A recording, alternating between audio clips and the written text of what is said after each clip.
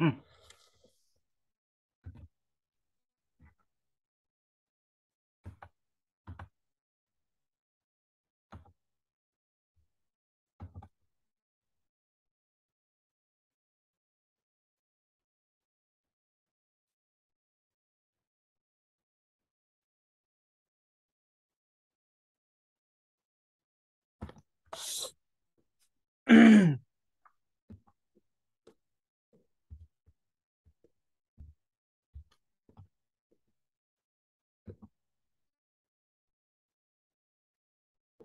Assalamu alaikum wa rahmatullahi wa barakatuh and welcome back to our tafsir class.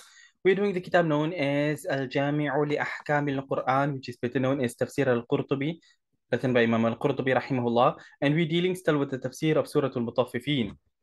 Now we had read a uh, selection of ayat uh, last week and we completed a portion of the tafsir so we are continuing on from here page 153 of volume number 22 of Tafsir al-Qurtubi for, tonight, inshallah. So without delays, let's begin. بسم الله والحمد لله والصلاة والسلام على رسول الله وعلى آله وصحبه ومن والاه. So he starts out from this point here. He says وفي وفي ذلك أي وفي الذي وصفناه من أمر الجنة فليتنافس المتنافسون وفي ذلك فليتنافس المتنافسون That's the ayah that we are dealing with. So with regards to this, let the competitors compete. That's the part of the ayah that we were doing. So he says, وَفِي الَّذِي وَصَفْنَاهُ مِنْ أَمْرِ الْجَنَّةِ the, so with regards to this that Allah has described of Jannah, Allah tells you after Allah has told you that you know the uh, uh, believers they will be like this. They'll be reclining on uh, you know what people call a chaise lounges you know that sort of thing reclining in that manner. You know, they'll have all of this and the pure wine and everything. And then allah says wafi so for all of these na'im that allah has prepared for a person in jannah فَلْيَتَنَافَسِ الْمُتَنَافِسُونَ. Let the competitors compete. In other words, compete in and okay like i mentioned last week I have had done a short audio, one of my weekly audios on this topic of فَلْيَتَنَافَسِ الْمُتَنَافِسُونَ uh, in last month, probably if I'm not mistaken. So I put it in more perspective as to what it means. But nonetheless, it don't mean, you know, like what people do today, everything is become a competition. Uh, who can uh, read Quran better, make better azan to get a prize, and uh, money and things like this. That is not the type of competition that is being referred to at all. That's when you turn the deen into a money-making racket. So that's not what is being referred to. But here it means that you know, and okay, I mentioned the example I gave. Hazrat Abu Bakr radiallahu anhu was always in the front of everything. Any goodness, Hazrat Abu Bakr radiallahu anhu was there. And thus Hazrat Umar radiallahu anhu, not entering into a contract uh, competition, uh, we're to run now and see who's faster. Not that type. But without Hazrat Abu Bakr anhu even knowing, Hazrat Umar anhu would try to outdo him. In other words, he does so much good. I want to do good, more good uh, uh, even than that. Not to say so that I am better, but so that I can come closer to Allah with more deeds. That's how it was. And that is what is meant by let the competitors compete. But in any case, let's move on. He says, فليرغب الراغبون يقال نفست عليه الشيء أنفسه نفاسة أي ضننت به ولم أحب أن يصير إليه فليرغب الراغبون you know رغبة رهبة with a ha is to make you fear and raghba with a ghain is to make you desire so let those desirers desire in so to speak so he uses he speaks now from an arabic perspective uh, perspective he says nafistu alayhi shay'a anfasuhu nafasatan nafistu anfasuhu nafasa that's the linguistics. Meaning bihi wa lam uhibba an yasira ilayhi the term is used in this manner that i like almost like try to withhold it from him and i did not want that he should reach there first. Pure linguistics is showing that when you are having a tanafus tanafus in the context of normal uh normal competitions in this world uh if it's a race you want you don't want that the next person must win also shame let's all hold hands and uh, uh you know uh, jog down together while singing kumbaya uh, that you, nobody goes into a competition with that sort of mindset. You go in with in it to win it. I must be the one to be there right at, fr- at the front. That's what a tanafus is. You know, you you run, you see he's on your heels and you push yourself to the max so that you can get there. وَلَمْ أُحِبَّ أَن يَصِيرَ إِلَيْهِ I don't want that he must reach there before me. That is how it is. That sort of competition. But obviously, like I gave the example, you don't come now with matters of the uh, of the deen and you turn it into a, a competition where it is for the sake of show when there's no ikhlas, it's worth nothing. Then you are tanafus into Jahannam, but you're not coming any closer to Allah. So the entire point of uh, competing from a Shari'i perspective, from a Quranic perspective, it is to do more good deeds, to do as much good deeds as can possibly be done, so that you can have a higher rank in Jannah. In other words, everybody's heading to Jannah. But you know, it's like in this world here today where with money you earn you earn you earn you grow your bank balance you grow your house build your house you do whatever you want to. So in a like manner you want to build your akhirah with more trees and more rivers and more palaces. And the more good deeds you do the bigger your jannah uh, becomes. The more uh you know every time you say subhanallah and a tree is planted for you. And that's why that hadith mentions that uh jannah is lush and green but it's empty. And your deeds is what actually plants that Jannah. I think I gave audio on that topic uh, uh, uh, in last year or the year before even uh, about planting your own Jannah because the deeds that you do, you read Surah Ikhlas 10 times and a palace is built for you in Jannah. Man bana masjidan lillah, bana Allahu lahu bana Allahu lahu qasran uh, fil Jannah. Different ahadith mention this. You builds a house for, for Allah, meaning a masjid. Allah builds for him a house in Jannah. Allah builds for him a palace in Jannah, as different narrations mention. So you know, now you've got palaces. And you say palaces? Yes, you look around in the world today, look in uh, Turkey, look in India, and you find the various, in fact, even you can look in the UK and you've got Buckingham Palace and this palace here and that smaller palace and that palace and things. So it's one uh, king, let's put it this way, or one queen, and yet they've got many palaces. So the Dolmabahce in uh, Turkey, and you had these uh, different, different uh, palaces that the Sultan, uh, the Khalifa at the time, they had all of these sort of things. So the point being, the more good deeds you do, the more trees you have, the more gardens you have, the more rivers you have, the more everything you have. So thus grow your Jannah. Not, like I say, not competing uh, for, uh, from a perspective of I want to read nicer so that people can look at me more, so that they can download my audios more. You know, not that sort of thing but do deeds for the sake of Allah so that you can come closer to Allah and build a better Jannah for you. But with all of these things that Allah has prepared, you do deeds that will help you there, in simple terms. وقيل الفاء بمعنى إلى أي وإلى ذلك فليتبادر المتبادرون في العمل. He says another opinion is the fa, fa, this fa فَلْيَتَنَافَسِ الْمُتَنَافِسُونَ It says, it's what the meaning of ila. Ila means towards. So towards this, let the competitive, let the, in other words, let the races, فَلْيَتَبَادَرِ الْمُتَبَادِرُونَ The, it means, you know, that it, again, English not exactly the best word, but anyway, let the races race towards this. So, في متبادرون في العمل. You haste in doing more good deeds so that you can come closer to that goal. نظيره لمثل هذا فليعمل العاملون in Surah Safat he says a similar ayah is when, when Allah says لمثل هذا so for the likes of this فليعمل العاملون let the, those who wish to act act in other words not acting Romeo and Juliet here we're talking about doing good deeds you know that deeds is the currency which takes you to this Jannah. So therefore, put in the effort so that you can get that Jannah. That لمثل هذا فليعمل العاملون. But let us move on uh, because he has uh, discussed it previously in another portion of the tafsir, hence why he keeps it short over here. So we carry on, he says, وَمِزَاجُهُ أي وَمِزَاجُ ذَلِكَ الرَّحِيقِ من تسنيم وهو شراب ينصب عليهم من علو وهو أشرف شراب في الجنة Now he says ومزاجه من تسنيم مزاج means to mix and its mixture will be with تسنيم if we take the uh, verbatim translation of the ayah. So he says, وَمِزَاجُ ذَلِكَ الرَّحِيقِ We spoke about the رَحِيقِ الْمَخْتُوم, the sealed nectar, as the book is known, you know, that uh, book of Sheikh Mubarakpuri, uh, famous one, everybody uh, had it, it got a, award for it and all that sort of stuff. But anyway, the sealed nectar, Rahiq al-Makhtoum, call it different names, call it by the musky water drink or the, you know, the uh, musky wine or the uh, pure wine, whatever, whatever, whatever. But nonetheless, so that Rahiq, it is mixed with tasneem.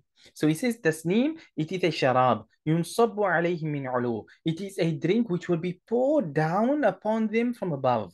وهو أشرف شراب في الجنة. And it is the best and noblest of drinks in Jannah. And there are numerous drinks in Jannah.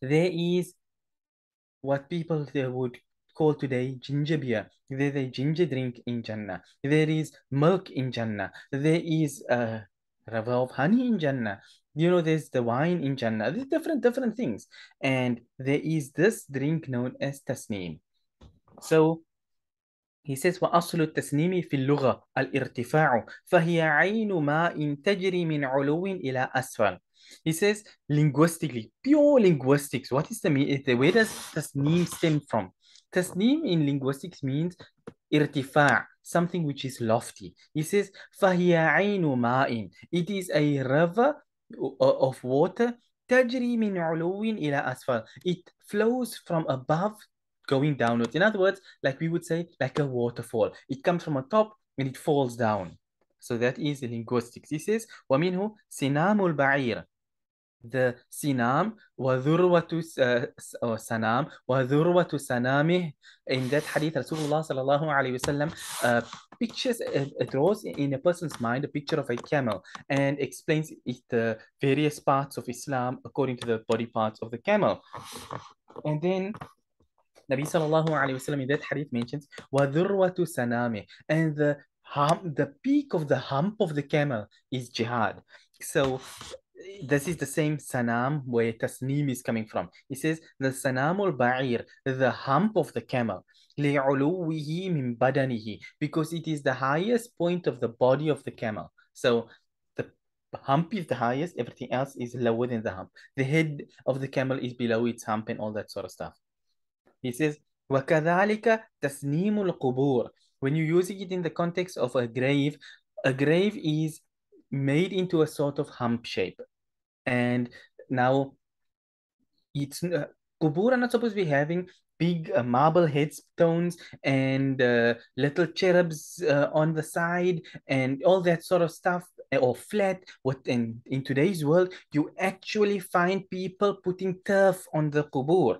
So it's uh, made with marble around it and turf on top of it as if some little people are going to come and play a mini soccer game on top there or something of the sort but nonetheless tasneemul qubur the qabr has a hump shape to it Hence why it's using linguistics to show that tasneemul qubur means a grave in a hump shape. Now, if a grave was flat, you wouldn't have been using this word at all. Anyhow, he says, وروي عن عبد الله رضي الله عنه قال تسنيم عين في الجنة يشرب بها يشرب بها المقربون صرفا ويمزج منها كأس أصحاب اليمين فتطيب. He says, Hazrat Abdullah radiallahu anhu, he said that tasneem, it is a spring in Jannah, which the muqarrabun uh, drink from in a pure form. They drink pure tasneem. ويمزج منها كأس أصحاب اليمين فتطيب. He says, but أصحاب اليمين. So you've got the muqarrabun, then you've got the أصحاب اليمين. muqarrabun are those who are very close to Allah. أصحاب اليمين, those of the right hand. The normal good people. So in other words, both are in a very good state. The one is just even closer. So the muqarrabun, they get the pure uh, tasneem. But the rest, the ashabul yameen, their glasses will be mixed. So you'll have a little bit of tasneem with some of your uh, rahiq, uh, for example, your rahiq makhtoom. So you'll have your sealed nectar with a bit of a tasneem in it. So it's mixed. And that itself makes it even uh, nicer. You know, it the rahiq makhtoom is already like it can blow your mind so it tastes but then with this mixture you know like people have cocktails not to use these uh, evil words uh, you know, is a word which brings about the uh, najis uh, uh, connotations, but nonetheless, you know, like something which is mixed. So it is mixed with tasneem and it adds extra uh, wonder to the taste. وقال ابن عباس رضي الله عنهما في قوله عز وجل ومزاجه من تسنيم. قال هذا مما قال الله تعالى فلا تعلم نفس ما أخفي لهم من قرة أعين. So uh, Hadrat Abdullah ibn Abbas radiallahu anhuma commenting on the ayah وَمِزَاجُهُ مِن تَسْنِيم. Amongst the different tafasir he mentioned on it he says that هذا مما قال الله تعالى. He says that this is this وَمِزَاجُهُ مِن تَسْنِيم. is one of those things that Allah Ta'ala has spoken about when Allah said, فَلَا تَعْلَمُ نَفْسٍ There is no person that knows مَا أُخْفِيَ لَهُم مِّن قُرَّةِ أَعْيُنٍ What has been kept hidden, concealed and prepared uh, for them. It's prepared without their knowledge of it, of the veil, the min qurrati a'yun, from the coolness of your eyes. In other words, there are so many things, and as Rasulullah sallallahu alayhi wasallam tells us, or at least I should say, it's a hadith qudsi, and Allah tells us, أعددت لعبادي الصالحين ما لا عين رأت ولا أذن سمعت ولا خطر على قلب بشر that I have prepared for my pious servants ما لا عين رأت which no eye has ever seen ولا أذن سمعت no ear has ever heard ولا خطر على قلب بشر nor has it even the thought of it even crossed the heart of a person so that is part and parcel of ما أخفي لهم من قرة أعين that pleasures that Allah has kept hidden for a person in Jannah which we are told about so, so many things in Jannah you know about it but then there are so many other things in Jannah which Allah has not even told you about. You know, just to aspire towards the things which you have been told. It's like if you can get that, you'll be happy forever. But Allah then still keeps besides that other things that would make you even happier because Allah knows and you don't know.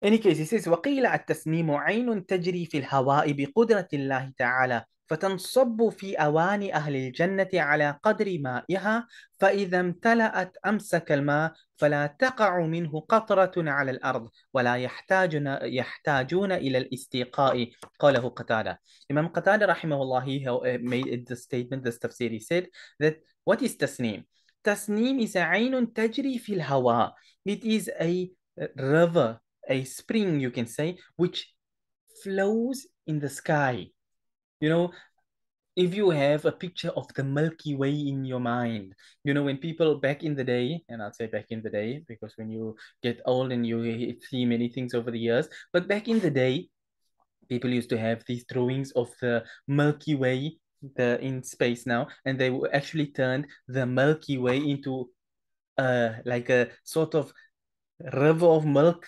Okay maybe it was children's things but nonetheless the point being that you know like milk which was supposed to be flowing in space so yeah it's a similar uh, concept which is it is a river which is literally flowing in the air ta'ala. It is the power of Allah keeping it in place. So the that Allah who made that the river can flow on the on the floor without drying up or soaking into the ground. Is the same Allah who can make that river flow in the sky without anything keeping it up. That Allah who has given you two feet for you to walk with is the same Allah who will let you walk on your face towards Jahannam for those people as well. So in the power of Allah, nothing is impossible. So it is a river which flows in the sky بقدرة الله تعالى with the power of Allah تعالى فتنصب في أواني أهل الجنة على قدر مائها and this river you know in other words it's floating over the heads of the people and from this river it uh, it uh, let's put it away it pours out from from there into the cups of the people of Jannah على قدر مائها so if you've got a 250 ml cup and it's empty, then 250 ml will fall from there into your cup without spilling a drop and it will fill. And if you need 100 ml, 100 ml will fall into your cup like that. فَإِذَا امْتَلَأَتْ أَمْسَكَ الْمَاء When your cup is full, the water will stop with immediate effect. That's why I say without spilling a drop. فَلَا تَقَعُ مِنْهُ قَطْرَةٌ عَلَى الْأَرْضِ So not a drop of the water will fall on the earth. Literally, if you were to get 22,000 drops of water from that tasneem into your glass, then 22,000 drops will fall in your glass and not one drop will splash or go missing or fall uh, uh, miss and you know anything of that sort, it will fall exactly where it is supposed to. So ولا يحتاجون إلى الاستقاء. You won't even need to ask for a refill. You know, like uh, I need my bottomless cup of coffee, fill it up, you know, mark full it's not going to happen. It will fill according to the need without you even needing to ask for it. This is what is mentioned by Imam Qatada rahimahullah. قال ابن زيد بلغنا أنها عين تجري من تحت العرش وكذا في مراسيل الحسن وقد ذكرناه في سورة الإنسان Now the last uh, quotation he mentions over here is from Imam Ibn Zayd who said that it has reached us meaning بلغنا it has reached us through a narration that says that Tasneem is a spring which flows from beneath the arsh of Allah Rabbul Izzati wal Jalal. And this is mentioned in the Marasil of Imam al-Hassan. And he says, we mentioned this previously in Surah Al-Insan, so therefore he's not going to repeat and delve into it any further. Because as is the standard way of the Mufassirin, when they've explained something once, they don't continue repeating it over and over and over. Okay, last piece of the tafsir here before we end for tonight. He says, عين يشرب بها المقربون. It is a spring يشرب بها المقربون, which the مقربون, those close to Allah, will drink from. He says, أي يشرب منها أهل جنة عدن وهم أفاضل أهل الجنة صرفا وهي لغيرهم مزاج. So he says, the people of Jannah, which Jannah? Jannah to Aden. Now, there are different opinions in this regard. So, you know, you've got Jannatul Ma'wa, you've got Jannatul Adn, you've got uh, uh, Jannatul Khuld, you've got Jannatul Firdaus. So, you know, you've got different, different, different Jannat. So, Jannatul Firdaus is the highest. Some would put now, like he says here, the people of Jannat Aden, because, you know, sometimes maybe uh, you find some people and they say they put it like a, a seven level per pyramid type thing, but no, it doesn't exactly work there, that way. There are hundreds of levels in Jannah, but nonetheless, anyway, so you have uh, one which is known as Jannatul Ma'wa, one which is known as Jannatul Aden. So Imam uh, Al-Qurtubi says that Jannatul Aden, they are the best of the people of Jannah. Now, is Jannatul Aden part of Jannatul Firdaus, Jannatul Firdaus? Is it a portion in Jannatul Firdaus, the highest level of Jannatul, you know, different opinions in this regard. But nonetheless, so these people of the highest level of Jannatul, uh, of Jannah, they will drink it sirfan. Sirfan means pure. They will drink this a drink of tasneem in a pure form. وَهِيَ لِغَيْرِهِمْ مِزَاجٌ And for others besides them, they will have it mixed. We did the, just the just this uh, a moment ago in the on the previous page. So in other words, these people get the drink in its full pure form. The others get it mixed with the pure wine of Jannah. So that's what he says. وعينا نصب على المدح. وقال الزجاج نصب على الحال من تسنيم. وتسنيمه معرفة ليس يعرف له اشتقاق. وإن جعلته مصدرا مشتقا من السنام فعينا نصب لأنه مفعول به. كقوله تعالى أو أو إطعام في يوم ذي مسغبة يتيما. وهذا قول الفراء أنه منسوب بتسنيم وعند الأخفش يسقون يسقون عينا أو من عين وعند المبرد بإضمار أعني على المدح Okay, so the, this is um, not really much we're going to go into because it's purely uh, high linguistics over here. Why is it? Why does the ayah begin? عينا يشرب بها المقربون عيني يشرب بها المقربون when you're reading it with tajweed as you know from the Arabic classes, by default, a word has to begin, or at least it always begins, with a dhamma on the end, a dhammatain specifically. Something affects it, and one dhamma goes off. Something else affects it, it changes it to a kasra or a fatha or whatever. So uh, why does sin, the ayah begin with aynan? Why is there fathatain on it? Why is there not dhammatain on it? Dopesh, as you would say in Urdu. So that's the discussion over here. So it is nasab al al-madh. It's nasab because of being praised. Imam Zajjaj, he says that it is nasab al al-hal. من تسنيم in other words تسنيم is a spring that the مقربون will drink from so he says تسنيم is معرفة uh, ليس يعرف له اشتقاق there's no uh, other form that is known uh, uh, from it. If you make it as a masdar mushtaq, uh, mushtaq uh, masdar from sanam, then ayn is an, in a form of nasab as aynan because it, it is a maf'ul bihi. Now you've got maf'ul bihi, maf'ul lahu, maf'ul maf'ul ma'ahu, you know, different types of maf'uls out there. But anyhow, so he says it is like that ayah in Surah Al-Balad. But anyhow, and he says this is the قول of Imam al-Farra that it is منصوب بتسنيم that it is nasab meaning it has a fathatain because of the word tasneem. So if we just go up here a, a little bit so you can see in this, min tasneemin aynan. So wamizajuhu min tasneem. It is because of tasneem here that it's like the one ayah carries on, the conversation carries on, it flows into the next sentence, hence why aynan starts with a fathatain. That's what Imam al-Farra is uh, basically saying.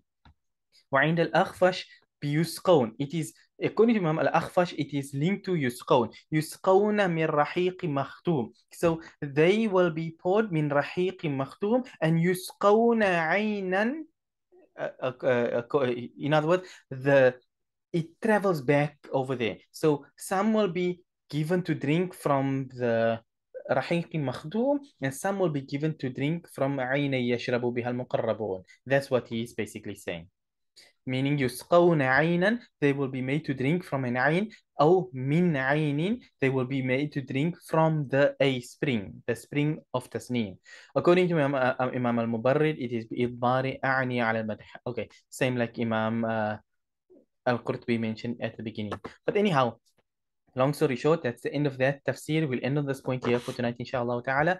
The point being, if we summarize it, that tasneem Tasneem is the name of a spring in Jannah, an extremely high one, lofty one, purely from the linguistic perspective, it is something which is extremely great because after Allah had mentioned the great thing known as uh, the sealed nectar, Allah then still went on to give something which is supposed to be even better.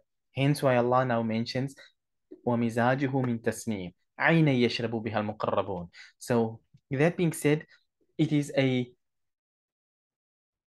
lofty spring in Jannah, the highest of the high, and we hope inshallah we will all be from those who will be able to drink from it.